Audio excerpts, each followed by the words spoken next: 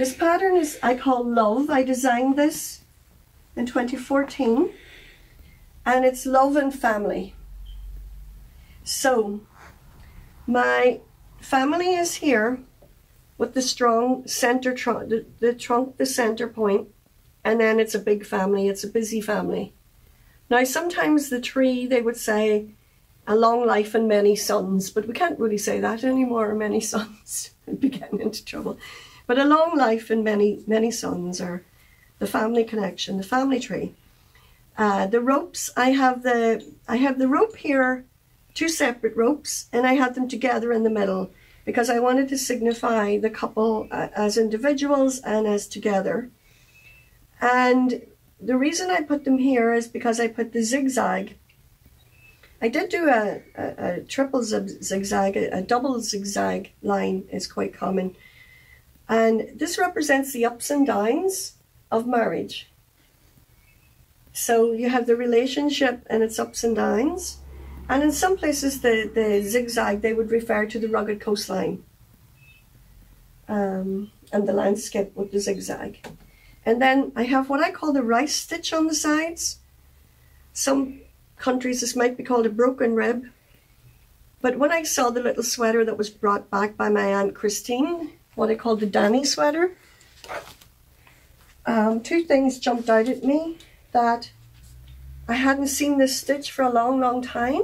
And I was amazed that we put it on the side of sweaters and that the moss stitch had taken over so much from it.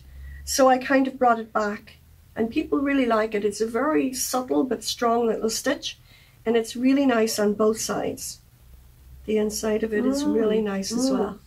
Mm-hmm. It's got nice strength to it. Um, so I, I love this one. I have to say, it, it's a very gentle pattern. But I hadn't thought about the storytelling within the pattern before. Yeah, I think it's I think it's wonderful. And in terms of even just um, you have you have the personal story of this is Donegal yarn. I have always loved this yarn but for um, the greater part of my life, I couldn't use it. It was it's quite dense and coarse, and but it's that authenticity that's working in the Aran, mm, you know, and I've always really believed in that yarn, and Chris Chris knows that. He believes me now at this stage. He believes me. this pattern here looks like sheaths of wheat to me. Yeah, it's lovely. You know, there is a stitch called sheaths of wheat and I'm not sure, that's a very interesting one because we call that the link, the link stitch. Mm. And it was referred to as the link to people gone to foreign shores. So you can imagine ah, this yeah. link cable.